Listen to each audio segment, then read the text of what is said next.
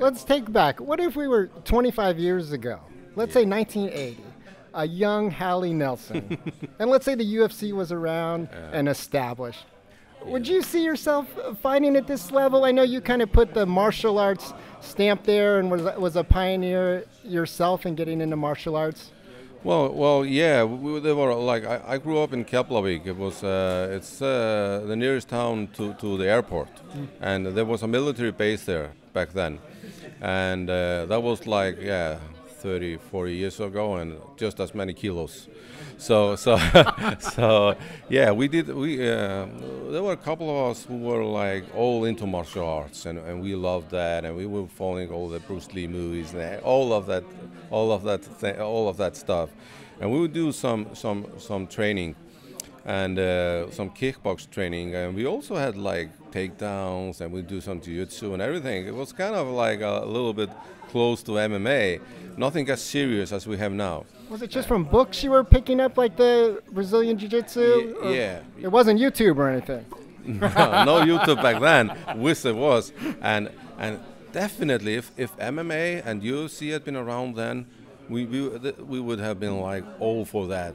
And, and we would go up on the military base and do some training with those guys there. They had some kickboxing training, but it was like boxing. Uh, pro boxing was is illegal in Iceland, and now we have Olympic boxing and uh, so so we had to be like a, a little bit discreet about this but but yeah we we, we used to do like all full contact sparring and everything and, and go up and spar with the Americans and it was so much fun and uh, and uh, you know but it was nothing as serious as we have now and uh, more like a scrapple or whatever yeah, so it was like a good underground little fight club maybe. Yeah. No, it yeah. sounds like you guys were very into the martial arts and learning. So De- definitely, and we were all for that, and we read all the materials we could get. And I remember getting uh, Black Belt, the, the magazine, in, in the local bookstore.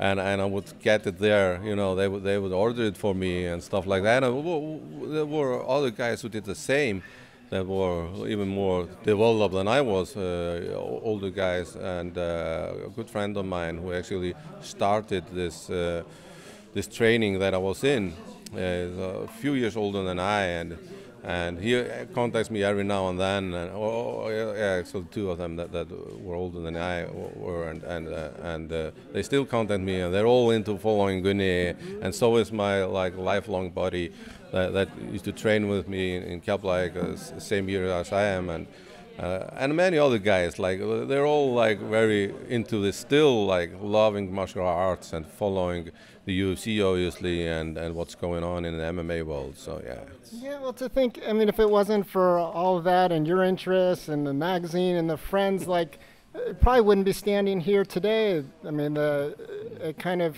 takes many little events to get a you know a big event like yeah. this and something this huge having your son headlining a, a big card like this. Oh, headlining in in stockholm this uh, in october is like a dream come true for, for Gunni, for myself. I'm very proud.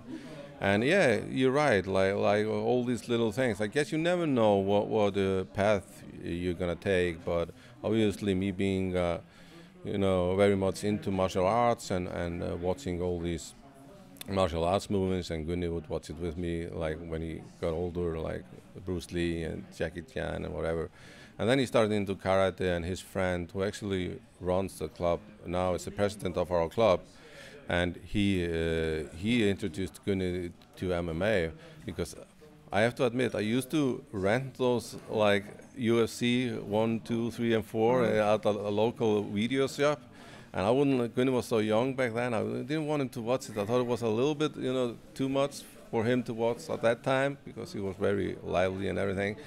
But uh, but I, I remember watching the first UFC. I just wow, wow, this is gonna be something. And, and you could just like see almost without without a, a clear vision or anything, you could see this this would probably develop. It was a little bit brutal back then with like uh, no Groin strikes and headbutts. Yeah, yeah, everything like that, and and but still it had something to it. Mm. Like it had something to it, and after they like uh, made the unified rules and everything, uh, everybody knows the rest of the story, like how it's developed and, and and how great it is now.